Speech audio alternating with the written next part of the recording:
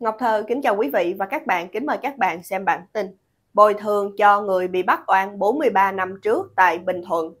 Ngày 5 tháng 10, VOA tiếng Việt loan tin Bình Thuận bồi thường 1,9 tỷ đồng cho người đã khuất, từng bị bắt oan 43 năm trước. VOA dẫn tường thuật của các báo Việt Nam cho hay Viện Kiểm sát Nhân dân tỉnh Bình Thuận ra quyết định bồi thường đối với ông Võ Tê với số tiền là 1,9 tỷ đồng cho việc ông bị bắt giam oan cách đây 43 năm và thông báo cho gia đình ông hôm 3 tháng 10.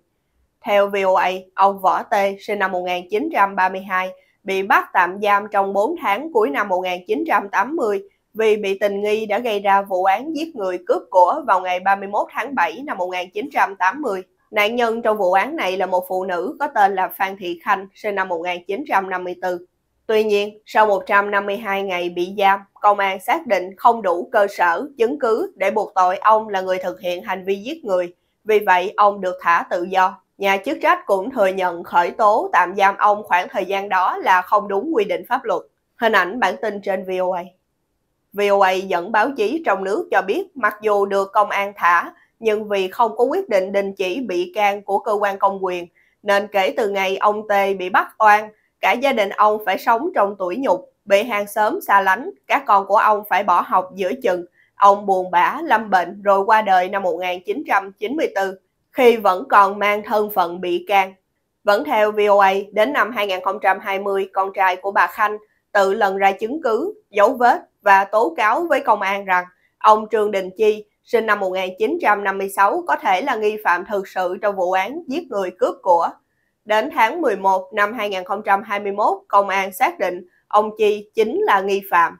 Nhưng kể từ năm 1980 đến năm 2021 đã là 41 năm, nên đã hết thời hiệu truy cứu trách nhiệm hình sự đối với ông Chi.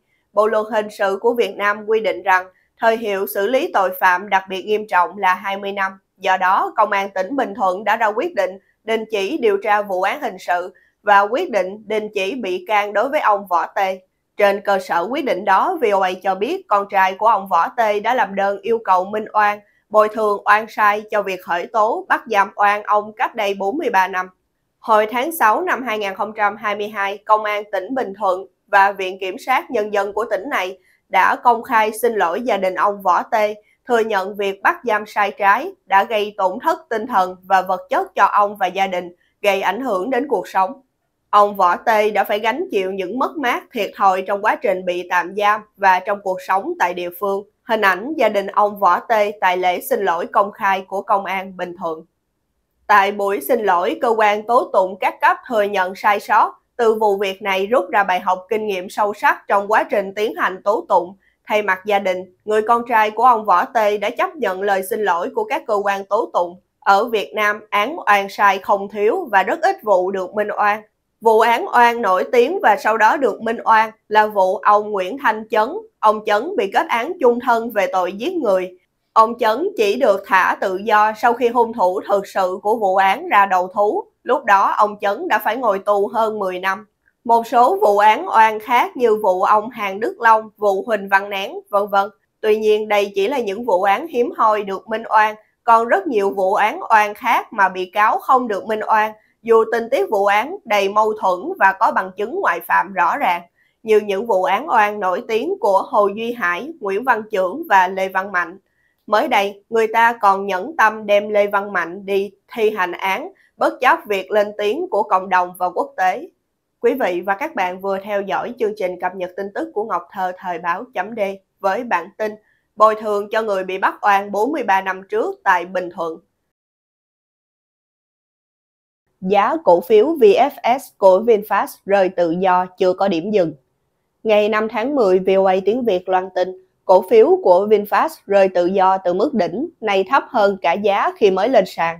Theo đó, cổ phiếu VinFast có mã VFS của hãng xe hơi điện Việt Nam giảm hàng chục phần trăm chỉ trong 3 ngày gần đây và trong trạng thái quay đầu rơi tự do trong vòng chưa đầy một tháng rưỡi, ngay sau khi lên đến mức đỉnh là 93 đô la VOA cho biết kết thúc phiên giao dịch trên sàn Nasdaq hôm 4 tháng 10, giá của VFS là 8,05 đô la, giảm hơn 26% so với mức ở thời điểm thị trường đóng cửa trong ngày giao dịch cuối cùng của tuần trước, 29 tháng 9.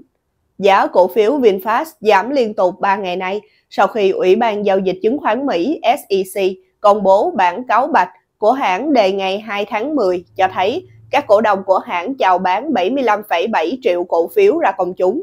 Hình ảnh bản tin trên VOA. Theo VOA, số lượng cổ phiếu nêu trên được tung thêm vào thị trường nhiều gấp 17 lần so với con số 4,5 triệu cổ phiếu VFS đã giao dịch trong thời gian qua. Tuy nhiên, đại đa số phần còn lại của tổng cộng hơn 2,3 tỷ cổ phiếu VFS vẫn chưa được mua bán tự do vì phải tuân theo thỏa thuận của VinFast khi sáp nhập với đối tác là Blacksmith Acquisition Co. để lên sàn ở Mỹ. VFS dẫn bản cáo bạch mới nhất cho biết trong số gần 76 triệu cổ phiếu mới có hiệu lực giao dịch, tới hơn một nửa, tức là 46,29 triệu cổ phiếu sẽ do hai công ty của tỷ phú Phạm Nhật Vượng bán ra. Đó là công ty cổ phần Tập đoàn Đầu tư Việt Nam và Asian Star Trading and Investment. Đây là hai hãng đầu tư riêng của ông Phạm Nhật Vượng, chủ sở hữu kiêm người điều hành Vingroup, tập đoàn mẹ của VinFast. Theo quan sát của VOA, một số chuyên gia tài chính đưa ra tính toán rằng tùy vào các mức giá ở những thời điểm giao dịch khác nhau, số cổ phiếu do hai hãng con của ông Vượng bán ra có thể mang về cho VinFast từ hơn 500 triệu đến hơn 700 triệu đô la để hãng chi cho những hoạt động hoặc dùng làm vốn đối ứng để vay thêm tiền. VOA cho hay với việc bán ra số lượng cổ phiếu nêu trên, giờ đây Vingroup cùng một số hãng con vẫn còn sở hữu khoảng gần 97% cổ phiếu của VinFast trước khi sụt giảm còn hơn 8 đô la, thấp hơn cả mức giá 10,45 đô la của VFS trong ngày đầu tiên lên sàn ở Mỹ hôm 14 tháng 8. VFS có lúc tăng vọt lên đỉnh hôm 28 tháng 8 đạt giá 93 đô la, nhưng kể từ đó giá xem như đã rơi tự do liên tục trong 6 tuần, cho đến nay chỉ còn 8,6% của mức đỉnh. Hình ảnh giá cổ phiếu VFS khi kết thúc phiên giao dịch ngày 4 tháng 10 chỉ còn 8,05 đô la. Vẫn theo VOA, tình trạng giá cổ phiếu của VinFast thụt lùi về sau cả và xuất phát diễn ra song song với những tin tức không tích cực mấy về doanh số bán xe của hãng. Trong nửa đầu năm 2023, VinFast mới chỉ bán được 11.315 xe, trong đó có hơn 7.000 chiếc được bán cho hãng taxi xanh GSM, cũng là doanh nghiệp thuộc Vingroup. Nghĩa là VinFast tự bán xe cho mình là chính. Được biết khi cổ phiếu VFS có chuỗi tăng liên tục, vào ngày 23 tháng 8, CEO Thu Thủy của VinFast đã phát biểu Chúng tôi nghĩ rằng thị trường nhìn nhận năng lực của chúng tôi và bạn biết đấy, thị trường cần những người như chúng tôi. Chúng tôi luôn có rất nhiều kế hoạch lớn ở phía trước. Chúng tôi đã niêm yết thành công và tin rằng thị trường chung đang phục hồi sẽ giúp ích cho VinFast trong việc gọi vốn trong tương lai. Đến ngày 5 tháng 9 khi giá VFS tuột dốc thảm hại, cũng CEO Thu Thủy lại nói Tôi nghĩ rằng nhiều người đã cảm thấy bất ngờ khi thấy cổ phiếu VinFast biến động mạnh sau khi lên sàn Nasdaq. Tuy nhiên, chúng tôi không ngạc nhiên vì chúng tôi tin vào tiềm năng của công ty. Những phát biểu của CEO này khiến người ta liên tưởng đến nhân vật Ao Quy của đại văn hào Lỗ Tấn với phép thắng lợi tinh thần nổi danh. Quý vị và các bạn vừa theo dõi chương trình cập nhật tin tức của Ngọc Thơ, thời báo chấm D với bản tin giá cổ phiếu VFS của VinFast rơi tự do, chưa có điểm dừng. Quý vị và các bạn hãy chia sẻ video này để nhiều người cùng biết cũng như bấm nút đăng ký kênh YouTube và Facebook của Thời báo chấm D để được cập nhật những bản tin mới nhất, nhanh nhất và trung thực nhất. Ngọc Thơ Thời báo chấm đề.